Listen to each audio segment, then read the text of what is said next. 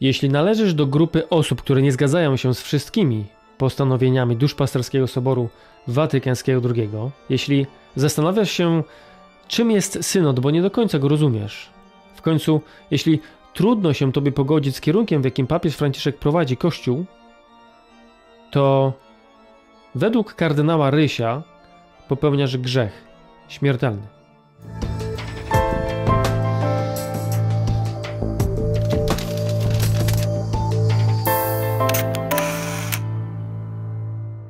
Niech będzie pochwalony Jezus Chrystus.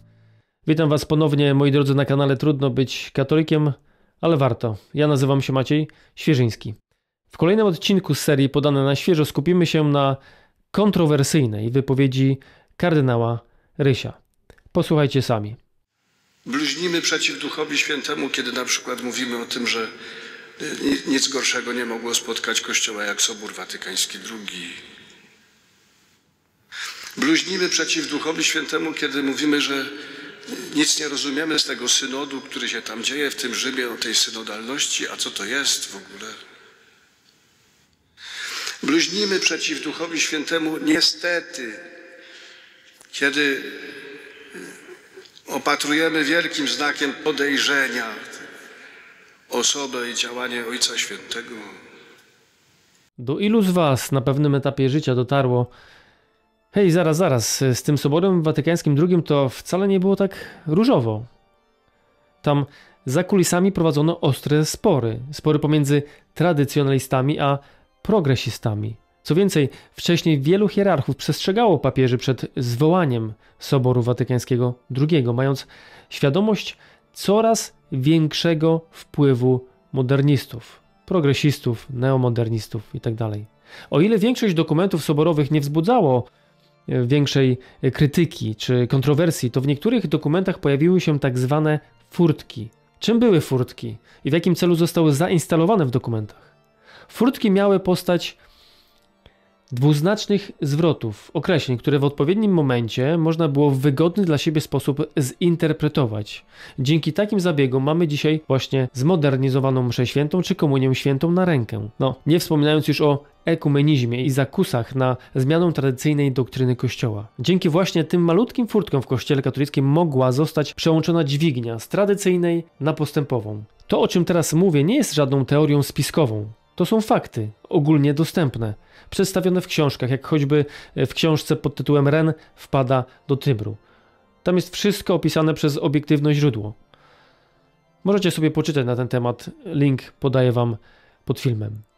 Dlaczego o tym mówię? Bo z tego wynika, że wszyscy biskupi, w tym odtawiani czy baci, broniący tradycji Kościoła i mszy świętej i sprzeciwiający się radykalnym zmianom, są według kardynała Rysia grzesznikami.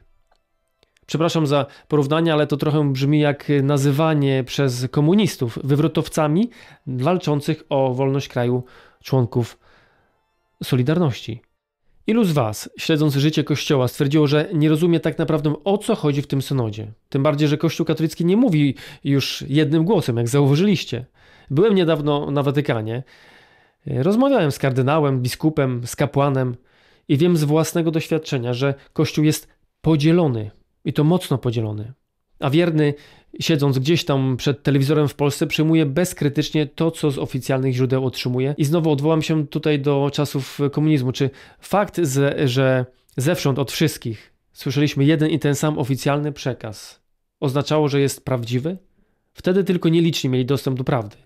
Teraz może ją każdy odkryć, ale z tym będzie wiązał się duży koszt, bo prawda boli. Ilu w końcu z Was, słysząc, co mówi papież Franciszek, że wszystkie drogi prowadzą do Boga, pomyślała sobie chwila, czy to nie jest sprzeczne z nauką Kościoła? Jak w normalnie funkcjonującym umyśle nie może zrodzić się w tym momencie wątpliwość? Nie mogą być dwie prawdy. Prawda jest jedna, więc kto ma rację? Biskup broniący tradycji, czy chcący od niej się oderwać? Czy pielęgnowanie tradycji Kościoła katolickiego jest grzechem przeciwko Duchowi Świętemu? Takie pytanie w tym kontekście należałoby zadać. Dlaczego wypowiedź kardynała Rysia tak mnie denerwuje, tak mnie irytuje? Bo jest ona wybitnie niesprawiedliwa i może nieświadomych wiernych wprowadzić w poważne wątpliwości męki duchowe. I to nie z powodu jakiegoś tam przeciwstawiania się prawdą wiary, ale tylko dlatego, że chcesz być wierny tradycji. Boli mnie niesprawiedliwość w końcu, jaka wypływa z wypowiedzi kardynała Rysia. Wiecie dlaczego? Bo milczy i nie szantażuje grzechem, kiedy jest wśród swoich. Posłuchajcie, co mówi w trakcie forum charyzmatycznego w Łodzi, które miało miejsce kilka tygodni temu, siedząca obok, e, obok kardynała młoda i sympatyczna dziewczyna. Posłuchajcie. Wiara moich rodziców, dziadków i tak dalej, ona przestała być taką żywą relacją, a, a zaczęła być po prostu pielęgnowaniem tradycji. I tak naprawdę za tą tradycją y, nie było tej żywej relacji. I kiedy to się skończyło, to tak naprawdę ta tradycja nie miała żadnego uzupełnienia, żadnej głębi e, w tym Bożym działaniu. Zobaczcie, jak daleko idącej indoktrynacji uległa ta młoda kobieta. Ona uważa, że tradycja nie ma żadnego uzupełnienia, żadnej głębi w relacji e, w Bożym działaniu. Rozumiecie? Żadnej głębi w Bożym działaniu nie ma tradycja.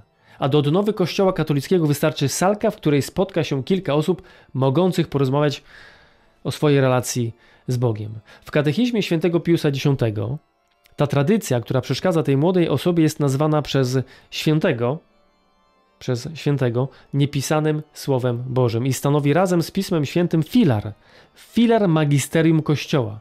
Dzięki tej tradycji ta dziewczyna może dzisiaj wyznawać wiarę katolicką. Ta dziewczyna nie jest świadoma, o co w tym wszystkim chodzi. W odróżnieniu do kardynała, który siedzi obok i milczy nie strofuje, nie poprawia, nie ekskomunikuje, nie grozi grzechem, choć młoda pani ewidentnie głosi łagodnie mówiąc niezgodną z nauką katolicką teorię.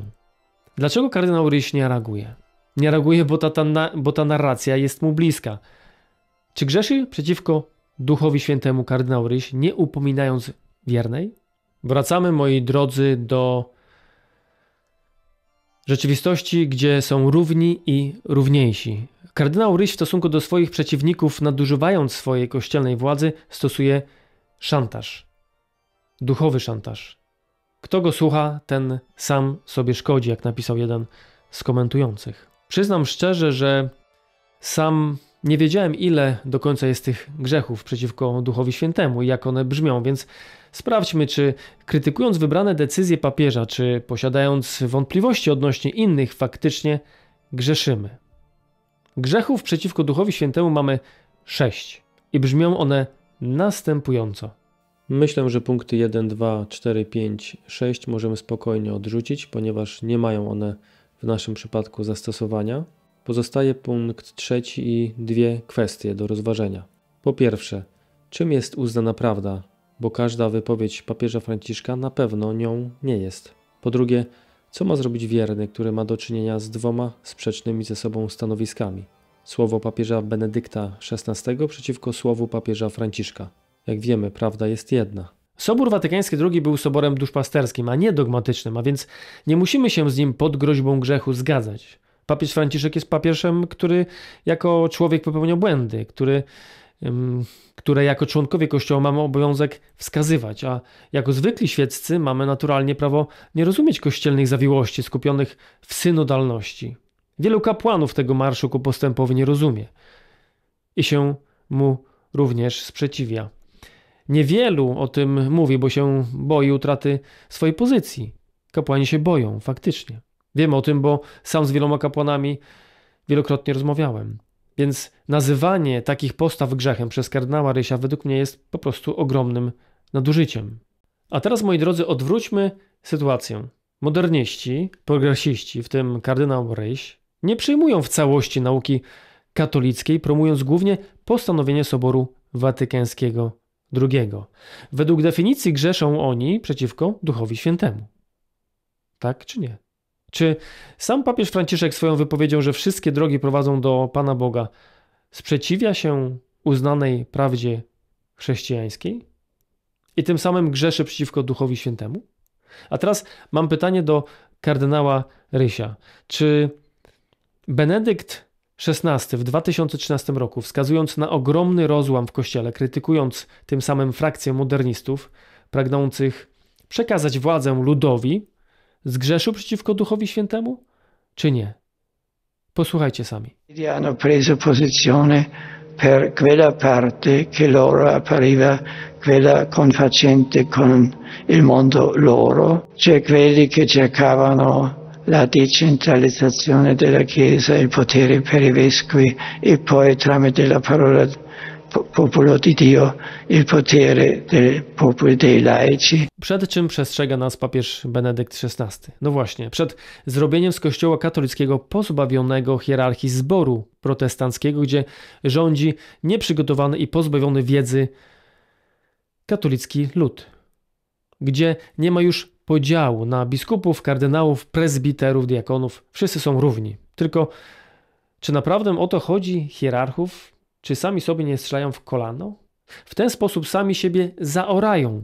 Problem z lewoskrętnymi polega na tym, że najpierw sami stworzą problemy, a następnie pod ich ciężarem upadną, czego efektem jest, no właśnie, co? Zobaczcie.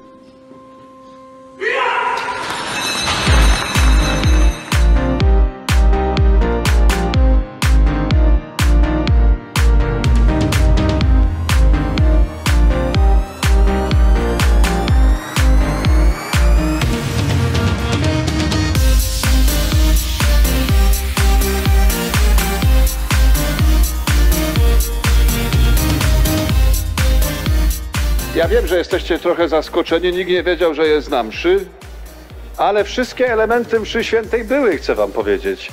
Począwszy od należę do ciebie, Boże Ojcze. Msza święta zaczyna się od znaku krzyża. Ale no jak to? No, no przecież pan sam przed chwilą powiedział, że to ten, no. Nonsens. Ja się z panem zgadzam. To jest nonsens, ale tylko pozornie, proszę pana. Widać kardynałowi Rysiowi nie wystarczy ta kompromitacja i brnie w tym dalej. Kilka tygodni temu powiedział panu Pawłowi Chmielewskiemu z PCH24, że obecnie litur liturgia jest teatrem jednego aktora i że potrzeba jest aktywności wszystkich. Że reforma liturgiczna nie wydarzyła się jeszcze w kościele. Jaki kościół chce nam zostawić kardynał Ryś? Powiem wam jaki. Wyobraź sobie, że wchodzisz do pozbawionego malowideł i rzeźb hangaru, gdzie na środku stoi stół. Mały krzyż dostrzegasz z boku, tak aby nikogo nie drażnił. Wkoło stołu krzątają się przyodziane w sutannę kobiety, młode kobiety.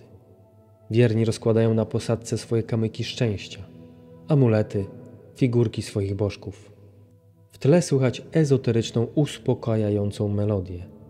Jest to znak, aby stanąć w koło stołu i chwycić się za ręce. Następuje wielkie uniesienie. Biskupka w średnim wieku z widoczną ciążą zbliża się do stołu. Wierni odpływają. Wszystkim jest bardzo dobrze.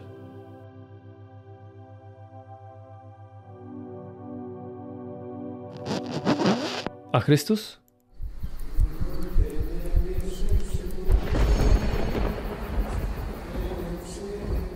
Z boku, na krzyżu, w samotności.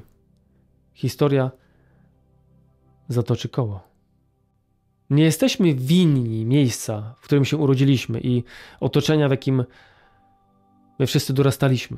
I tak jest w przypadku księdza kardynała Rysia. Miał to nieszczęście, że rozwijał się duchowo i intelektualnie pod bacznym okiem modernistów katolickich w czasach PRL-u. Jednym z jego mentorów był świętej pamięci ksiądz profesor Kudasiewicz, bezkrytyczny propagator Soboru Watykańskiego II i jego owoców, w tym ekumenizmu. Ten ksiądz profesor razem z księdzem Blachnickim ochoczo promowali protestanckie ruchy w kościele jak odnowa w duchu świętym. I zaraz wiem, wiem, wiem, wiem, zaraz podniosą się głosy, że no halo, przecież tyle dobrych owoców przynosi nam odnowa w duchu świętym. Tyle nawróceń. Jak sami dobrze wiecie, Pan Bóg jest w stanie z wszystkiego jakieś dobro wyprowadzić. Jednak źródło ruchów charyzmatycznych leży w protestantyzmie i jest to niepodważalny fakt. Jeśli mi nie wierzycie, sami poszukajcie. Wysilicie się. Trochę wysiłku włóżcie. Otwórzcie się naprawdę.